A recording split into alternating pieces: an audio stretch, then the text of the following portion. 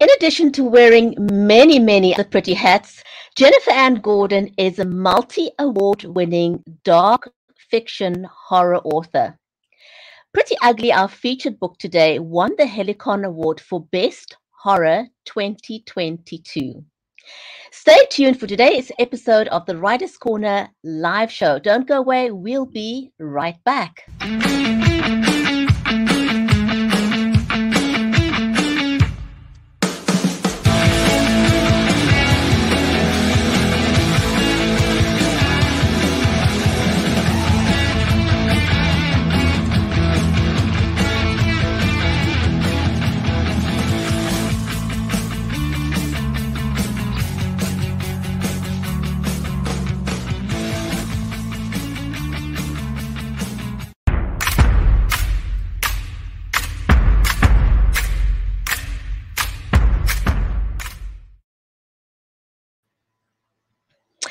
You're just joining us, welcome to the Writers Corner live show. I'm your host, Bridgetti Lim Banda from Cape Town in South Africa. And in today's show, we're going to be welcome an amazing author, Jennifer Anne Gordon. If this is your first time watching the show, we've been going live for over four and a half years. Uh, we'd love to give you a shout out. So just let us know in the comments. This live stream is brought to you compliments of Creative Edge, StreamYard, and B Live Media. So whether you're watching us over on Facebook, on Twitter, on YouTube, on LinkedIn, Amazon Live, a hearty warm welcome. And if you're catching the replay, a hearty warm welcome to you too. Now, one of the things that we're very, very passionate about is helping authors level up. Thanks to the pandemic, you're no longer limited to going down to the library or your local school to talk about your book. You can now hop online and talk about your book, not just to people where you live locally, but globally. Isn't that just amazing? It's just opened up wonderful doors for authors. But we'd like to share one or two quick tips before we bring our amazing author on the show to join us here. So many of you may talk about your book when you hop onto TikTok or Instagram, and when you do that, you'll be, you'll be holding your phone in portrait mode, and that be 100% correct because it will use the entire screen real estate when you're on TikTok and when you're on Instagram. But here's a tip: if you are going live on Facebook, on YouTube, or any of the other platforms, you want to turn your phone the other way around, and that's called landscape mode. And if you ever wondered why you're going live on Facebook and you get those black lines on the sides, well, that's why, and that'll fix it. What you also want to do is ensure that you put your phone onto a tripod. Now, it doesn't really matter. I mean, there are like a gazillion different tripods. You can literally take your pick. Um, but do put your phone on a tripod because it's impossible for you to talk about your book, be animated, pay attention to your audience, and hold your phone still. That's impossible. But if you're traveling and you're talking about your book, here's a quick hack. Take your phone, take some sticky tape, press stick, tic tac, whatever it is, and just stick your phone onto the nearest window. The great thing about that is that you're going to have your phone at the correct 90 degree angle. Plus, you're going to have front facing light so your audience can see you while you're talking about your book because that's exactly what you want. Now, if you one level up just a little bit from there, you can invest in any kind of lavalier microphone. And I can tell you, there are a gazillion of them. Just take your pick. There are different brands, different makes, but these lavalier microphones, they're not expensive, they're very cheap, but they'll make a huge difference. If, however, you are on your um, on, on a laptop or a computer and you want to level up there, invest in a webcam. Anything in the Logitech range, I've tried all of them as I've grown up with Logitech, and and I are both using Brio, which has got right side light technology, which means it'll you don't have to be a lighting fundi. It'll just automatically adjust to your lighting conditions, and that's wonderful. And now let me welcome my amazing co-host and friend, Mary Elizabeth Jackson.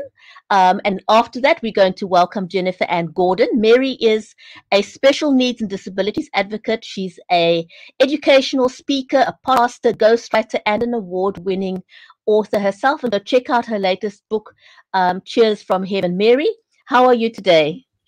I am great. And as you can see by the clothing we have on, right? We're going into winter and you're going into summer because we have our first cold snap and it's freezing.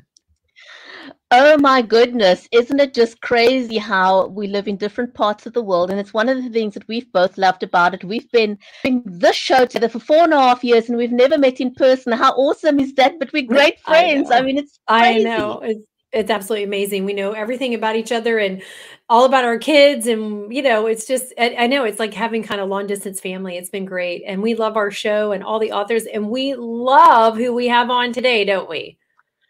We absolutely do. Now, guys, if you have never, ever, ever, ever met Jennifer Anne Gordon, she wears like a ton of amazing, beautiful hats. She's a multi award winning dark fiction horror author, in addition to everything else that she does. And um, her book, Beautiful, Frightening, and Silent, won the Kindle Award for Best Horror Suspense for 2020.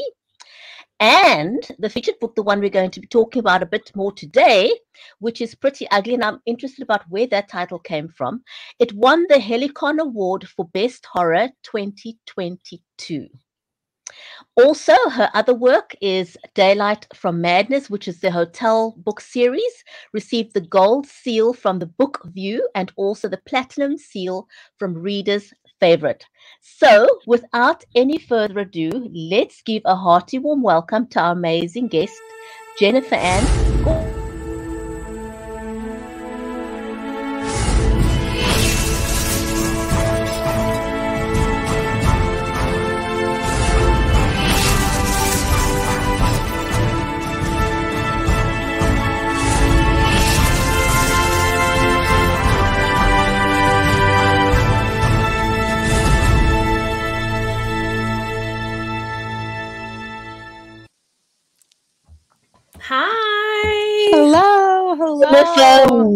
Welcome, welcome.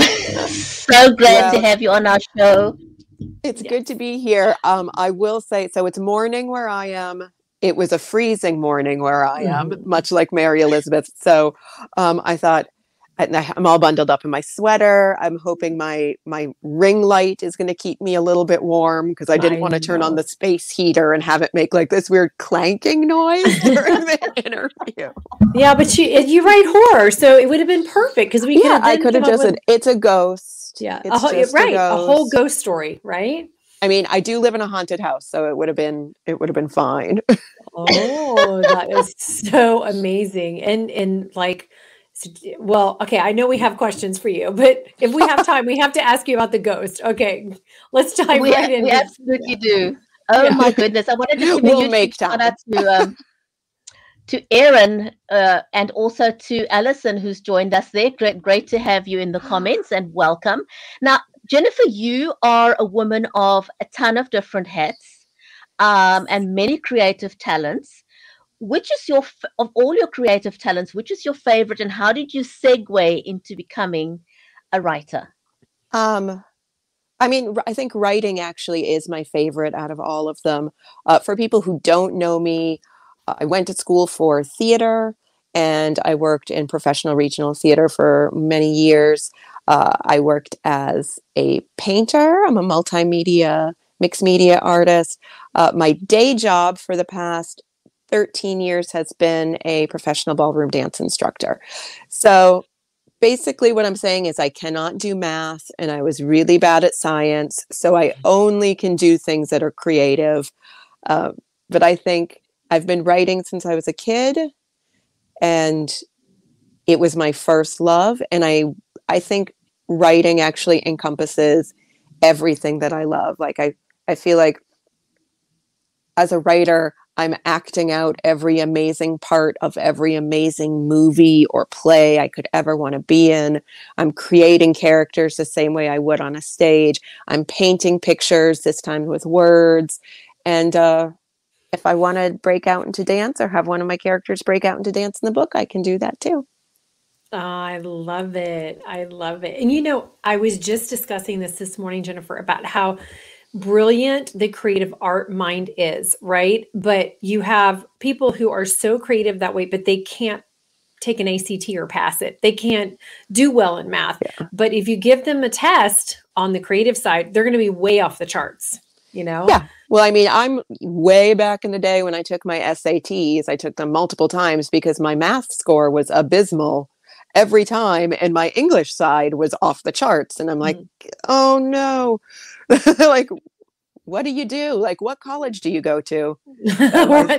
The creative art college is yeah i went to a fine arts college. We there didn't even go. have math not even an option. Yeah, there you go.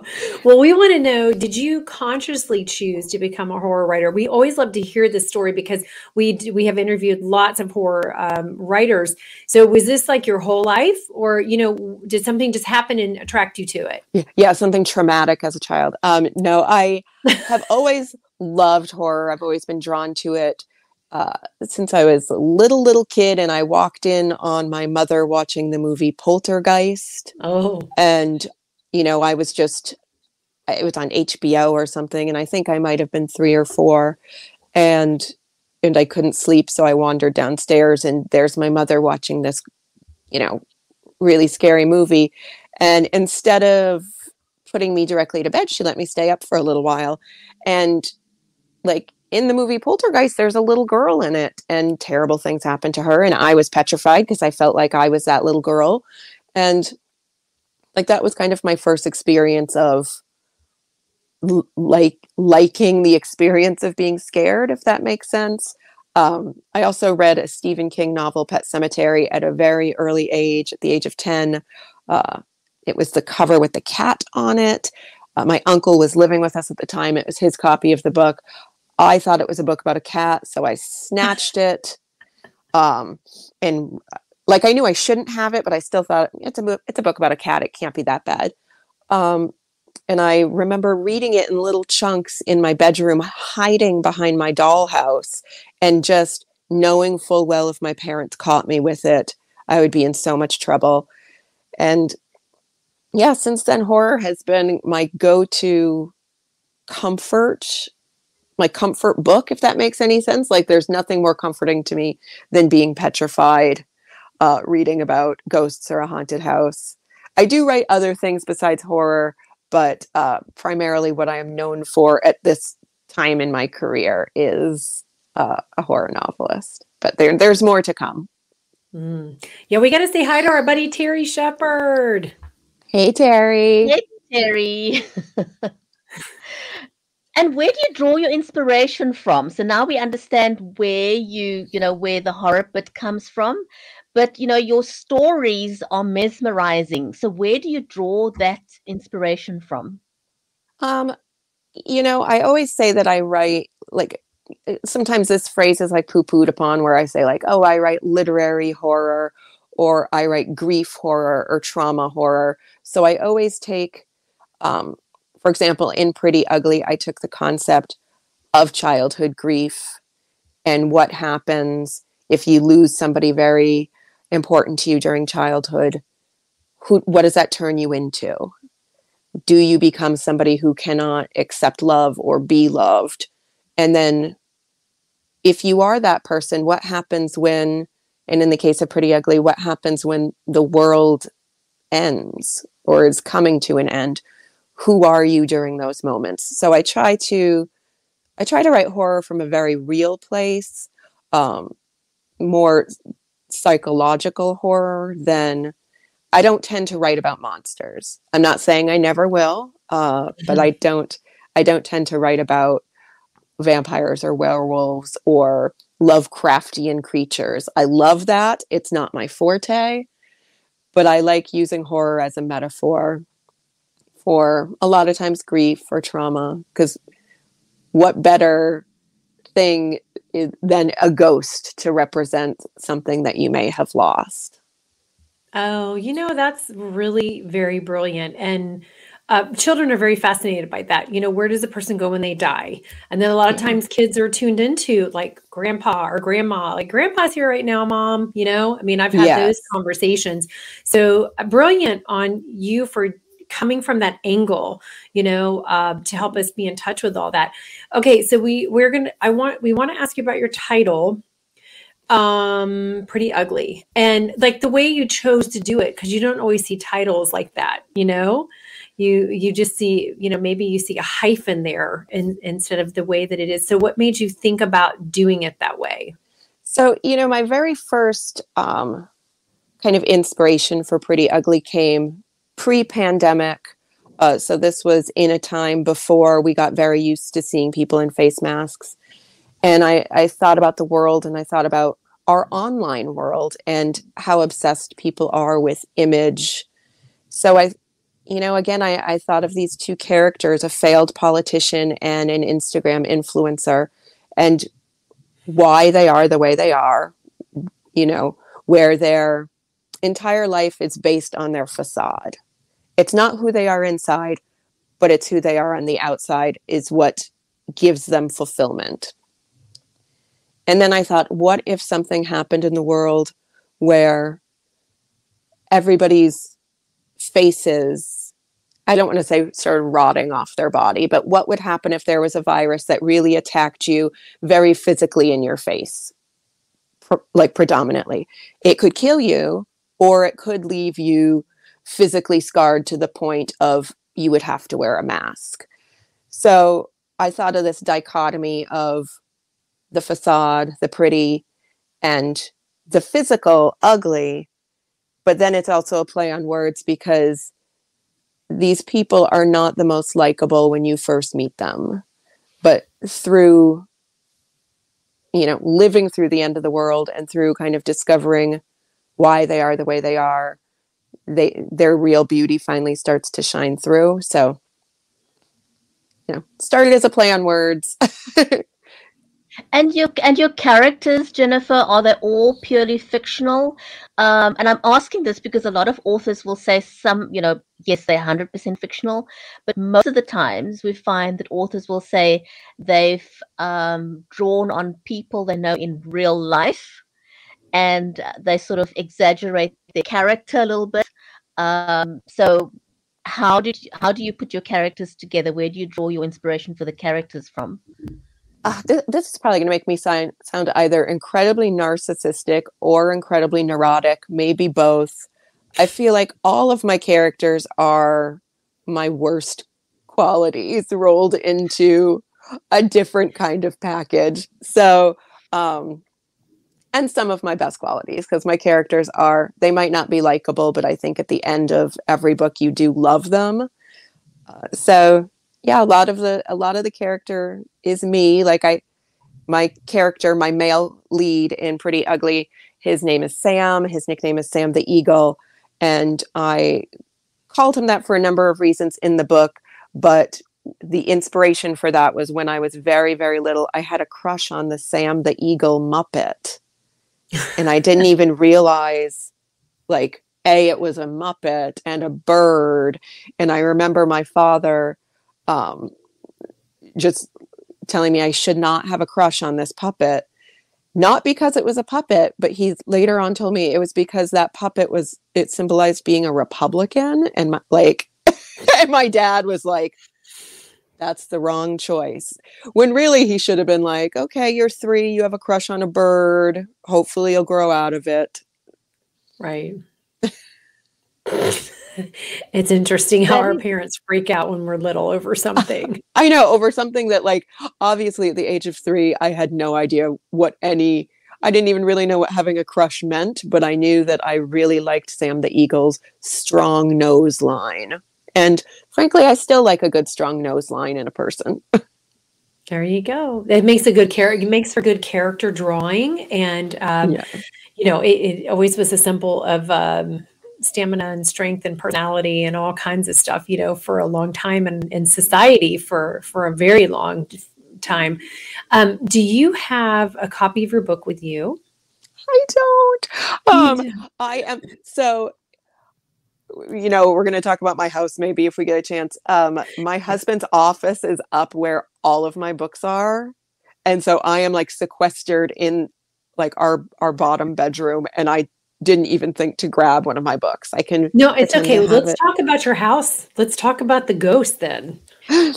so, um for people who follow me on Instagram or Facebook, a little over a year ago I moved to very rural New Hampshire to a a strange looking gothic house in the middle of the woods. Uh, when people see it, usually they think it is an old church. It's not it was designed by a woman named Esther. She was a poet and an artist herself. And she bought this land and lived in a little cottage on the property and, you know, and designed this house that I now live in with my husband. And the house doesn't really make sense because she wasn't an architect. She had no de- house design skills. And but she she had this house built that had everything she needed, which was a, a tower overlooking all of the property where that was her her writing space and her office. And so it's it's a really wonderful space to live in. The walls are made of bookshelves. It's really cool, but our second, third, and fourth floor are all kind of open concept. So where I write in the fourth floor tower, it's also kind of it overlooks my husband's office. So he's working now near all my books. But so I'm I'm in our bedroom. that sounds amazing. The, you know, yeah, on like the garden level floor. Metal. yeah. so Esther, Esther is still here. Esther, our our lovely, friendly ghost. I, we can hear her sometimes. She is benevolent and amazing.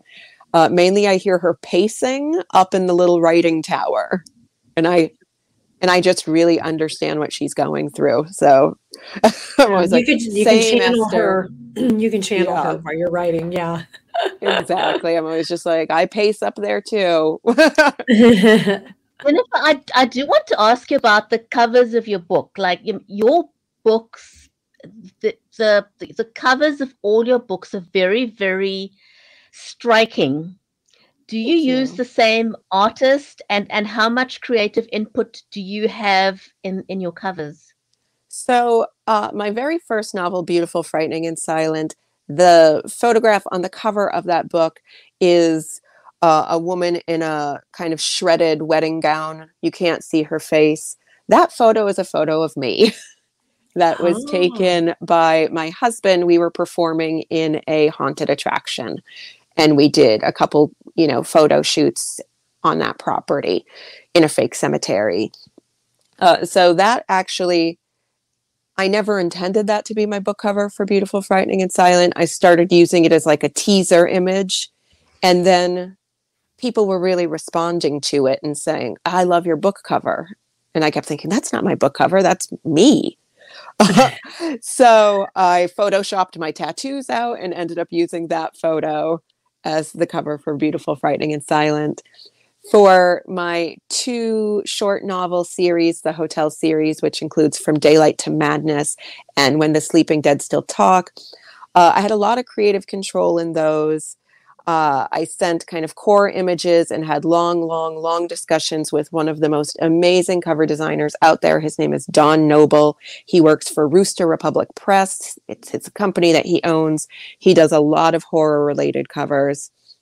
So he designed those two, and I couldn't love them more.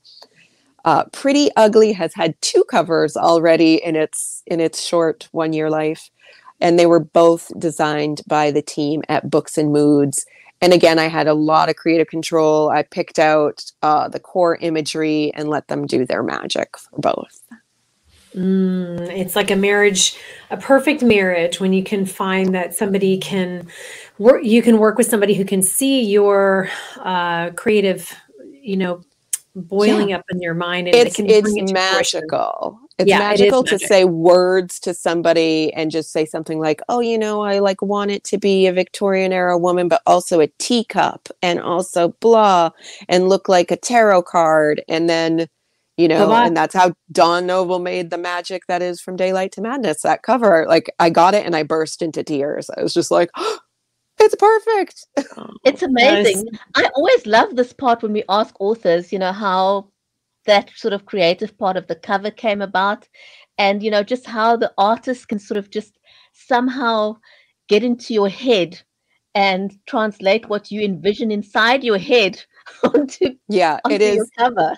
It's really spectacular. And you know and don noble is a genius and he's so good at making horror covers and he understands the horror community uh, and then the people at Books and Moods, they handled the interior design of Pretty Ugly as well uh, for the paperback.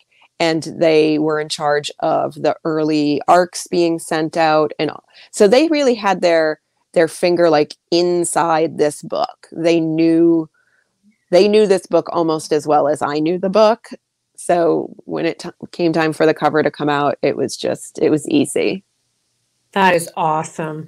So what would you tell your younger self? I would tell her to not stop writing even when you don't believe in yourself and that there is you know no such thing as good or bad during the whole writing process.